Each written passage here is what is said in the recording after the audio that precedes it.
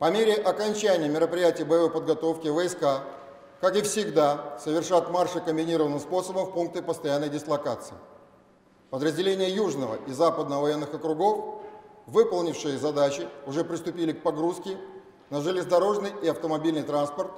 и сегодня начнут движение в свои воинские гарнизоны –